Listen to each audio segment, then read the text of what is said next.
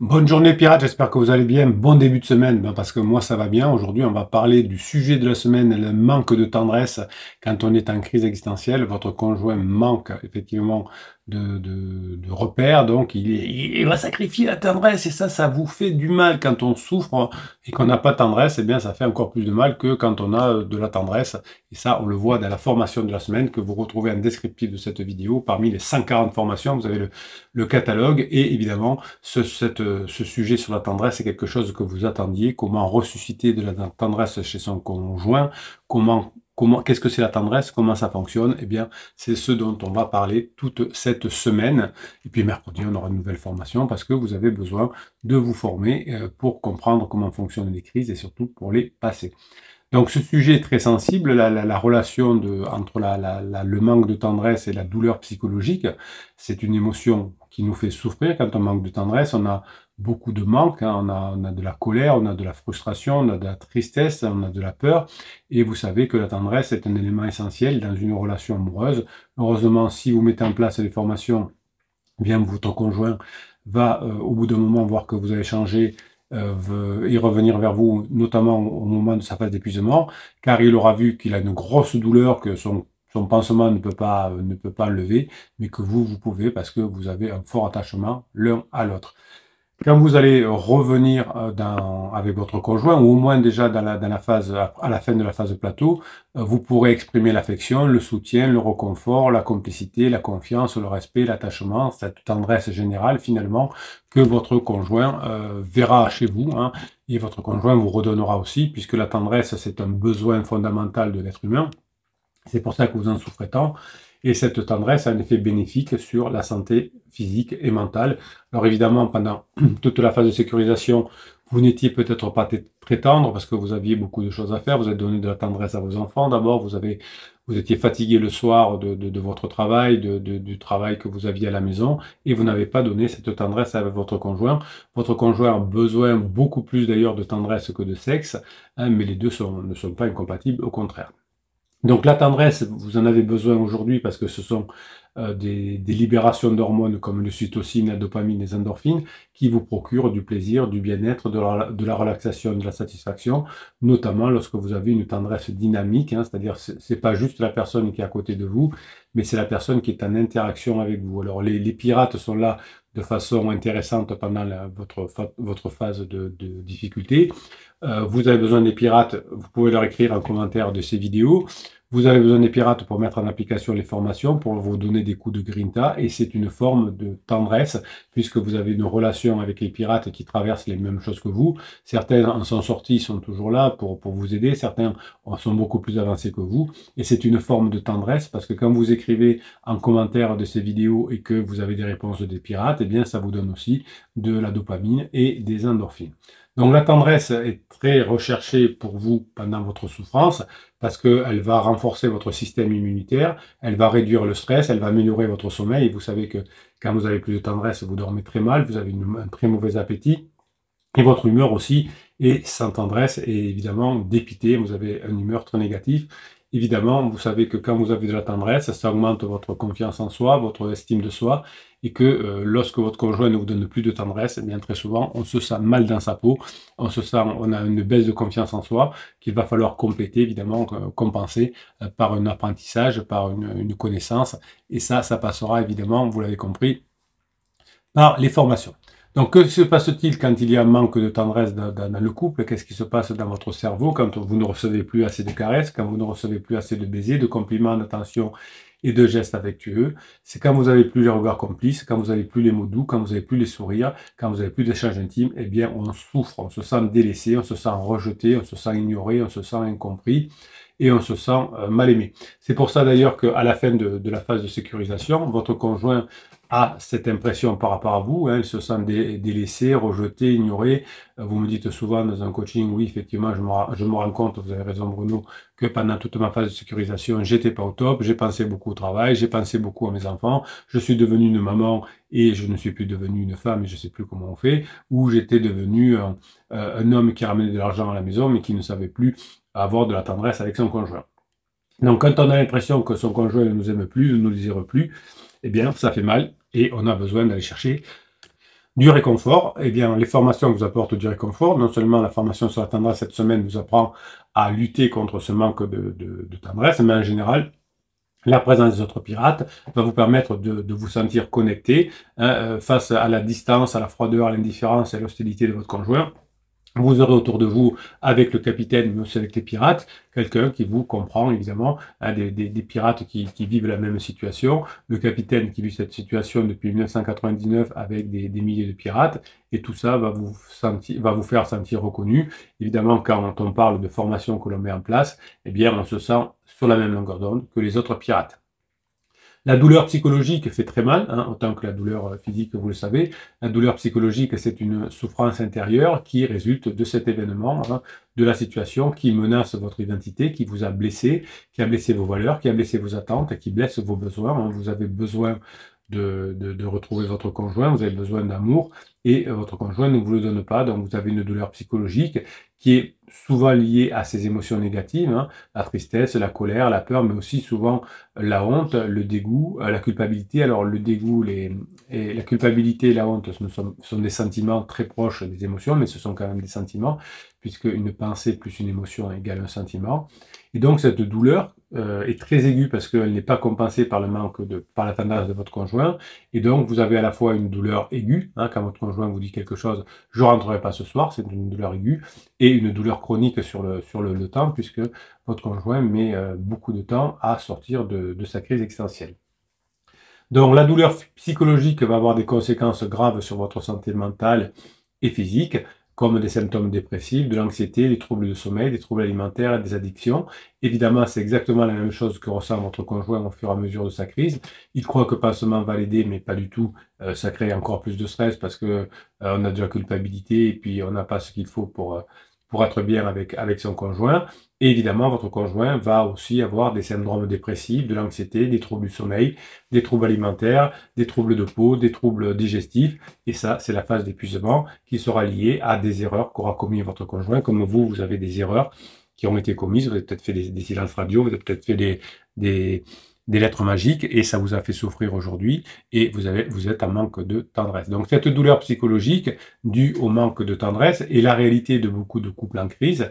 Hein. Euh, comment expliquer ce phénomène? Eh bien, ce sont des mécanismes neurologiques qui euh, sous-tendent cette souffrance, c'est-à-dire que Là, on peut guérir de cette blessure émotionnelle, mais on peut souffrir évidemment de, beaucoup, de, de, beaucoup de choses. Et cette douleur qui est liée au manque de tendresse est liée évidemment à des émotions que l'on vit, hein, euh, liées à des frustrations qui nous font beaucoup souffrir. À la fin de sa crise, votre conjoint a à la fois des douleurs physiques et des douleurs psychologiques. La douleur physique, c'est une qui résulte d'une stimulation nociceptive, c'est-à-dire un stimulus qui endommage les tissus du corps, par exemple le, mal au ventre, le, euh, le, mal au dos, la difficulté de, dormir. Et cette douleur physique est transmise par des récepteurs appelés des nocicepteurs qui sont situés sous la peau, les muscles, les, os, les organes, les, nerfs périphériques évidemment, hein, donc d'où les maladies de peau. Donc cette douleur physique est ensuite véhiculée par des fibres nerveuses qui rejoignent la moelle épinière, puis le cerveau, où elle est perçue et modulée par différents systèmes neuronaux. En revanche, la douleur psychologique, elle est, le résultat d'un stimulus qui blesse l'identité, la valeur, les attentes et les besoins. Donc la douleur psychologique n'est pas transmise cette fois par des récepteurs spécifiques, mais par des processus cognitifs et émotionnels qui interprètent le sens et la valeur du stimulus. C'est très important. Hein, interprétation. Donc, si vous interprétez la crise de couple comme une façon d'être ensuite mieux dans votre couple, c'est pas la même chose comme si vous dites c'est foutu, j'abandonne, je suis fatigué, j'en peux plus. Hein, vous voyez, c'est souvent votre réaction euh, à l'événement qui va que vous faites plus souffrir ou moins. Donc la douleur physique et la douleur psychologique sont souvent distinguées l'une de l'autre tant sur le plan conceptuel que sur le plan clinique. On considère la douleur physique qui relève d'un domaine médical, tandis que la douleur psychologique euh, relève d'un travail sur soi, d'un travail qui va permettre d'apprendre à maîtriser ses pensées, ses, motivations. Évidemment, la présence du coach, la présence des, autres pirates va vous aider.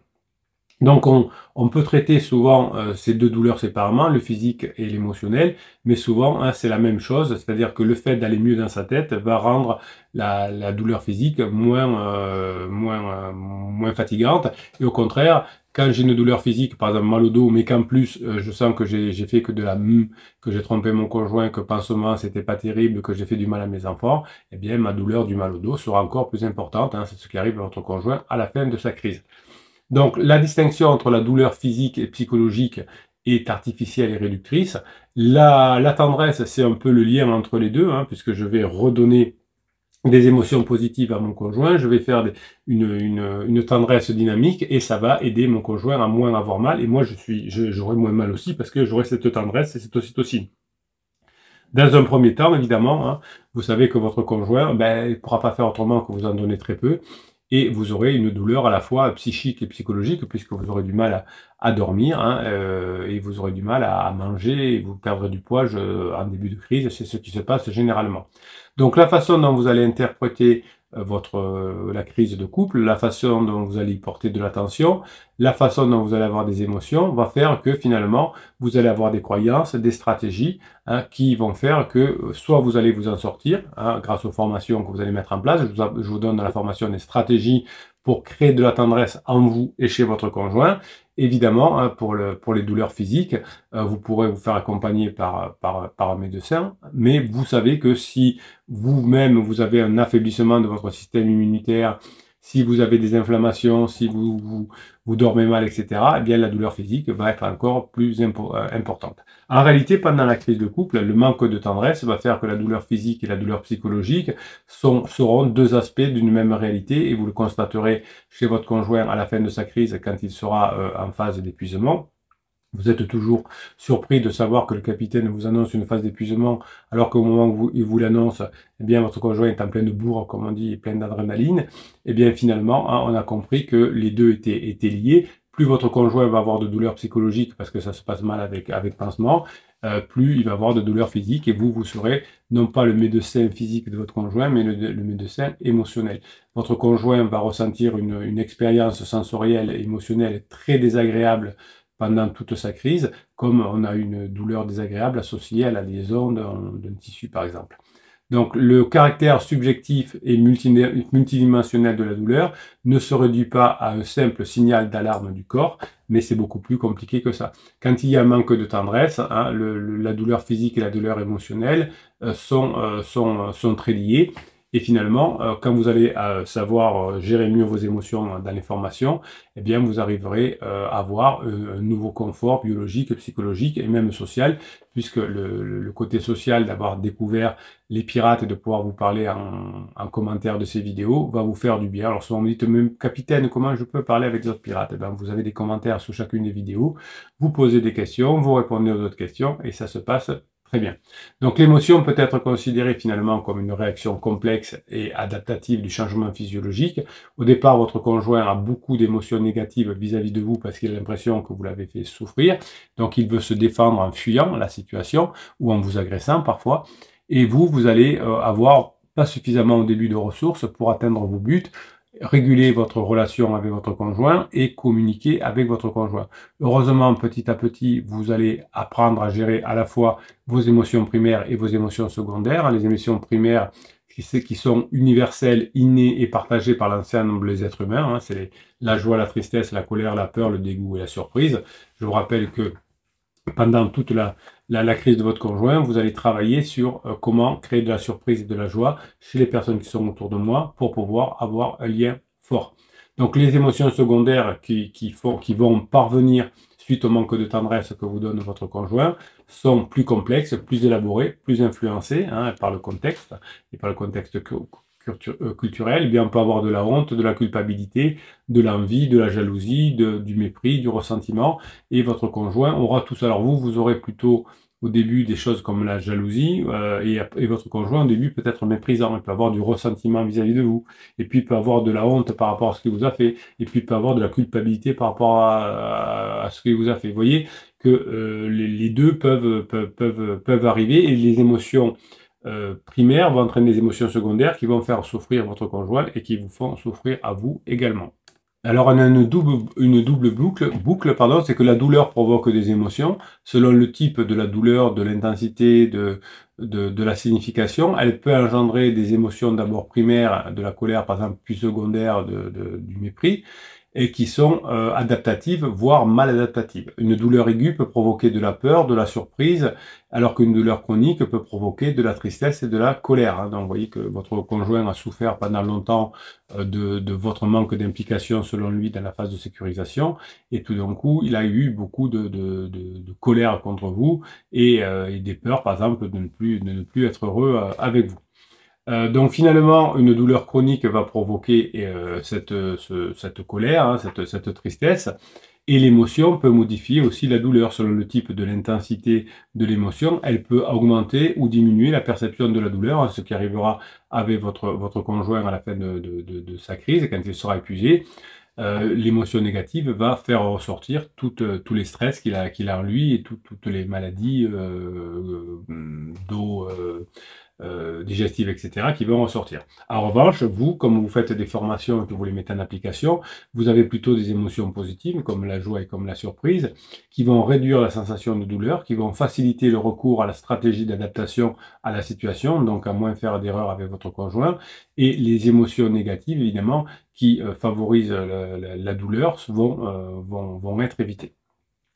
Donc la relation entre la douleur et l'émotion sont bi directionnelle, c'est-à-dire qu'elle varie en fonction des individus. Donc la douleur entraîne de l'émotion et l'émotion entraîne de la douleur. Et au milieu, vous avez la tendresse. Si vous arrivez à recréer de la tendresse comme un enfant fait un bisou magique ou des, choses comme ça, eh bien on va pouvoir couper le lien entre la douleur physique et la douleur émotionnelle. Hein, et les deux, seront, beaucoup, plus, euh, beaucoup plus calmés, beaucoup. Donc ce manque de tendresse va provoquer une douleur psychologique, évidemment, qui est cette douleur qui est ce mécanisme ancestral qui a pour fonction de vous protéger contre les dangers qui menacent, qui menacent votre, survie finalement. Hein, c'est pour ça que vous êtes en mode survie quand votre conjoint veut vous quitter, hein, parce que vous pensez que vous allez mourir. votre cerveau pense que vous allez mourir. Donc la douleur, c'est ce signal d'alarme, et vous avez beaucoup de douleur en début de, en début de crise, qui indique qu'il y a un problème et qu'il faut euh, traiter ce problème. Donc vous allez essayer de traiter ce problème euh, d'abord par des choses très rapides comme le silence radio facile mais qui marche pas, euh, la manipulation du suis-moi je te suis. Et évidemment, cette moyenne de communication, cette douleur, ne va pas diminuer quand vous ferez un silence radio, parce qu'au contraire, vous allez, encore avoir plus de mal à gérer cette douleur, puisque vous n'aurez plus de contact que vous imposez à votre conjoint. Donc finalement, cette douleur qui est une réponse naturelle et adaptative euh, peut être euh, régulée par la tendresse, le manque d'amour, le manque d'estime, le manque d'appartenance, le manque de sens a besoin effectivement d'être de, géré. Donc on a un besoin fondamental qui est terrible pour notre espèce, c'est le besoin d'attachement. Heureusement, votre conjoint est en crise, mais votre conjoint est attaché à vous. L'attachement, c'est ce lien affectif qui se crée entre euh, vous et votre conjoint, ou un enfant et sa figure parentale, généralement la mère, et ça lui procure cette sécurité, ce confort, cette protection. Cet attachement est essentiel pour le développement cognitif, émotionnel et social d'un enfant. Eh bien vous, quand vous avez créé une sécurisation votre conjoint, vous étiez attachés tous les deux l'un à l'autre. Alors votre conjoint est toujours attaché, mais comme il a eu beaucoup de souffrance avec vous, eh bien votre conjoint finalement ne ressent plus cet attachement, même s'il est encore là, mais vous, vous avez euh, un gros manque d'attachement quand votre conjoint s'éloigne, et donc ce manque d'attachement est lié au manque de tendresse qui fait partie des besoins fondamentaux. Donc ce besoin d'attachement, c'est le lien affectif qui se crée entre vous et votre, et votre conjoint pour avoir cette sécurité. Évidemment, hein, cette, cette, cet attachement mère-enfant, par exemple, eh va être ensuite reproduit dans, le, dans la relation entre conjoints, par exemple. C'est une forme d'attachement adulte. Évidemment, euh, je me rends compte que souvent, vous êtes en grande souffrance parce que vous aviez un attachement infantile envers, euh, envers votre conjoint, hein, avec de la proximité, de la confiance, du soutien, du réconfort nécessaire. Et quand, euh, quand vous n'avez plus ça, vous souffrez beaucoup. La relation amoureuse en phase 4 va vous permettre de vous sentir aimé, accepté, valorisé, compris et respecté par votre partenaire, parce que vous allez apprendre à mettre tout ça en situation. Et la relation amoureuse de la phase 4 va vous amener de la joie, du plaisir, de la satisfaction et du sens. Donc le manque de, tendresse finalement, quand votre partenaire ne vous montre pas assez d'affection, d'attention, de sollicitude, de compréhension, de respect, eh bien vos besoins d'attachement ne euh, ne sont pas nourris, on va dire, et vous avez une douleur psychologique liée à cette blessure d'attachement. Donc les neurosciences nous montrent que la douleur psychologique du manque de tendresse active les mêmes zones cérébrales que la douleur physique. Hein, ces zones sont situées dans le cortex singulaire antérieur et insula et font partie du, système limbique qui est impliqué dans la régulation des émotions. Donc vous avez mal dans, le manque de tendresse comme vous avez mal euh, quand vous avez mal à la cheville. Donc ces zones sont aussi connectées évidemment à d'autres régions du cerveau qui sont responsables de la mémoire, de l'apprentissage, de la motivation, du contrôle cognitif, d'où la la grande souffrance que vous avez. Donc, quand vous souffrez du manque de tendresse de votre conjoint, votre cerveau réagit comme si vous étiez blessé physiquement. Il envoie un signal d'alarme qui vous indique qu'il y a un danger pour votre survie affective. Et donc, vous mettez en mode survie au départ et vous allez déclencher des, réactions physiologiques comportementales qui visent à rétablir l'équilibre, à rétablir la douleur. Malheureusement, vous le faites en demandant comme un enfant euh, du soutien, de la tendresse, en demandant un bisou, en pleurant, en vous mettant à genoux, en essayant de négocier. Et euh, tout ça ne marche pas puisque votre conjoint euh, ne veut plus être votre papa ou votre maman. Donc votre conjoint veut avoir du désir et veut avoir du plaisir avec vous. Donc quand vous voulez de la tendresse pour, pour moins avoir mal, votre conjoint n'est pas euh, à même de vous le donner au début. Et vous aurez effectivement du coup, lié à cette souffrance, des problèmes d'humeur, d'appétit, de sommeil et de libido évidemment, puisque parfois vous ne savez même pas si votre conjoint revient, si vous pourrez avoir des relations sexuelles avec lui tellement vous êtes castré si vous, êtes un homme ou si vous êtes en panne de désir chez une femme. Après, ça revient, hein, mais les premières semaines, c'est plus compliqué. Donc le manque de tendresse euh, va vous faire souffrir comme si vous étiez euh, dans, une, blessure. Dans la formation euh, sur de la semaine sur la tendresse, vous allez apprendre à gérer ces moments difficiles. Hein, vous avez ces, ces, fichiers de neurohypnose qui vont vous aider. Et surtout, vous, allez apprendre à redonner de la tendresse à votre conjoint petit à petit, en montrant que vous avez changé, en, changeant vraiment évidemment au, au, fur et à mesure que vous mettrez en application les formations. Et là, votre, votre conjoint va rentrer en souffrance comme d'habitude, et vous saurez euh, gérer euh, sa souffrance physique et sa souffrance émotionnelle, et vous allez diminuer euh, la, souffrance émotionnelle de votre conjoint qui va finalement soulager la, souffrance physique, le mal au dos, etc. Et tout ça va faire que votre conjoint qui aura moins mal au dos, etc., aura moins de, souffrance émotionnelle et vous serez associé à ce bien-être. Et c'est ce que l'on ressent. Vous auriez pu divorcer si vous n'étiez pas tombé sur cette chaîne. Vous auriez pu dépenser 20 000 euros euh, de, de, de, comment on appelle ça, de divorce la première année, 10 000 euros les années précédentes. Heureusement, vous venez de comprendre tout ça, tous ces mécanismes, la tendresse, les neurosciences, euh, les, parties du cerveau. Maintenant, vous êtes armé pour aller faire les formations, vous êtes armé pour avoir la green tab pour mettre en application les formations. Je vous laisse aller récupérer les formations en descriptif de cette vidéo dans le catalogue. Vous comprenez que finalement, tout est question de science et que si vous le savez mettre en place correctement, pas avec des trucs magiques, les lettres magiques, les silences radio, si vous faites vraiment ce qu'il faut, eh bien, vous pourrez passer en phase 4 de votre couple. En tout cas, la plupart des pirates y passent et vous attendent de l'autre côté. Je vous souhaite la journée que vous méritez.